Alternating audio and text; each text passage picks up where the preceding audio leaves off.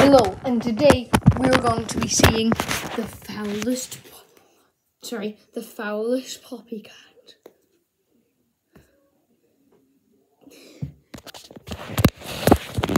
And there she is. You need to approach with pure caution. Because the cat might attack at any point. I've been longing to stroke her